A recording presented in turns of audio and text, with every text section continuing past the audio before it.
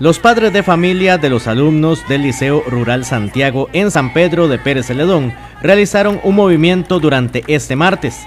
Los padres evitaron el ingreso al centro educativo y hasta colocaron pancartas como medida de protesta contra una profesora que imparte lecciones en ese colegio. Bueno, yo pienso que la inconformidad que tenemos con dicha profesora es por poco rendimiento académico, eh, palabras que no se deben decir a los alumnos, estamos perdiendo alumnos, estamos perdiendo capacidad en nuestro colegio. Por eso mi pensamiento es que se debe ser destituida de este colegio.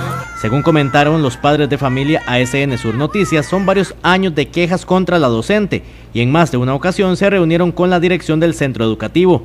El director regional del Ministerio de Educación Pública, Homer Fonseca, se encontraba fuera del cantón, pero comentó que la supervisora del Circuito 09, Flor Ramírez, y una abogada se reunieron con los padres de familia para buscar una solución a este inconveniente.